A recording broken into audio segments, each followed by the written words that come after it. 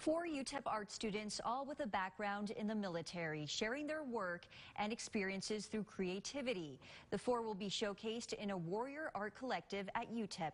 Here's a little bit more about them. From chaos to clarity, four artists with military backgrounds creating art as a release, a therapy, a way to express what they've been through. I've been uh, exposed to a lot of experiences uh, that most haven't.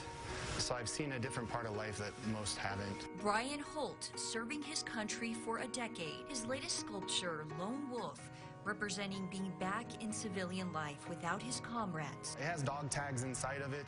Uh, those represent uh, all the military members uh, that I had deployed with. The piece kind of represents for me, you know, getting out of the service and not having that uh, co cohesion anymore. I was very, very edgy when I first was out of the military and it's helped me like calm down a lot. Victor Casas now out for many years. His art evolving and healing. Many of his paintings depicting life in the service. Before it was, my paintings were like super dark.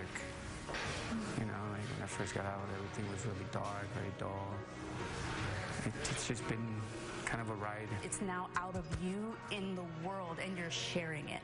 Melinda Blackwelder, in for 17 years, using painting as a way of therapy. It's very important to me. It's it's therapy for me. It's therapy for my my kids and by making myself better, I'm a better person for my kids and, and for everybody around me. The wheel, this right here, demands all my concentration. It demands all my focus.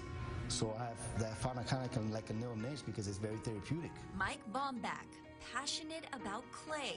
The former Marine using pottery as a way to cope after hard times and difficulty adjusting to normal life. Very passionate about.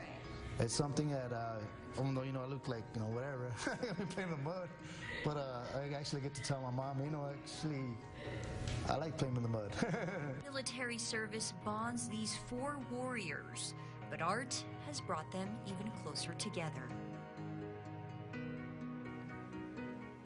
The artist's uh, exhibition From Chaos to Clarity will have its opening reception at the Glass Gallery in the Fox Fine Arts Center on Monday at 5 p.m.